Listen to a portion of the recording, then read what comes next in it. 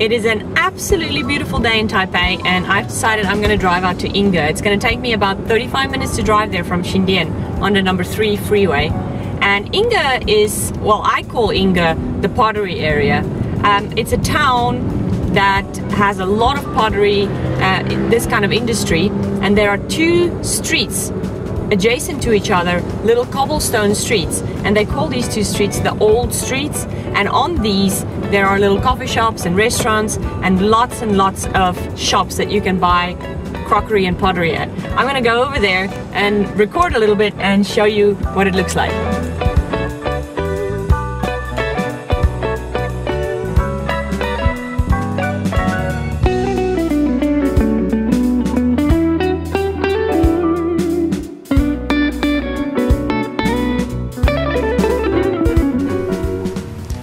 So this is one of the cobblestone streets I was talking about and all along this you'll find shops like these that sell pottery.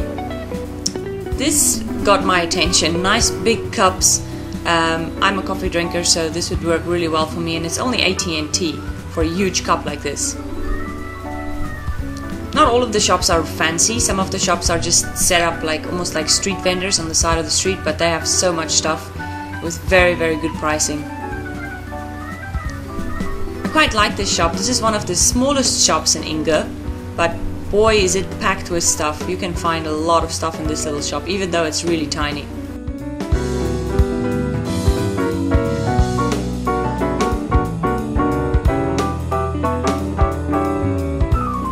Yingge also sells uh, different kind of ceramics, not only crockery.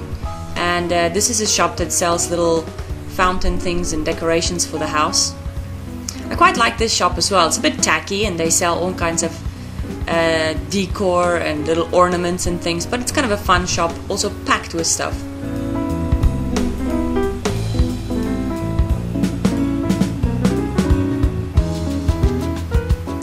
This is my favorite shop. When I used to have a restaurant, I bought most of my crockery from the shop. They're very competitive in their pricing and they have so much stuff. I'll just walk you through. You'll see um, on the side here they have uh, the oil burners, the, the incense burners, some vases.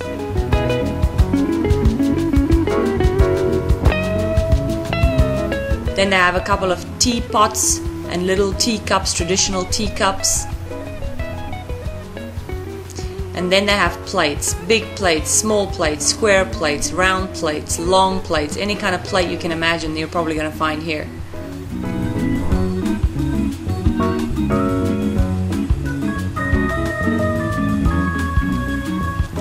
On this side they have some more bowls and sets in different colors.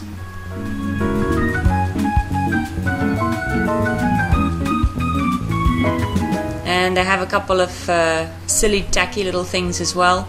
Little sets of teacups over there and some artsy things also. A little bit of art and vases and house decorations, ornaments and things like that also. I really like the shop. I will attach the business card of the shop.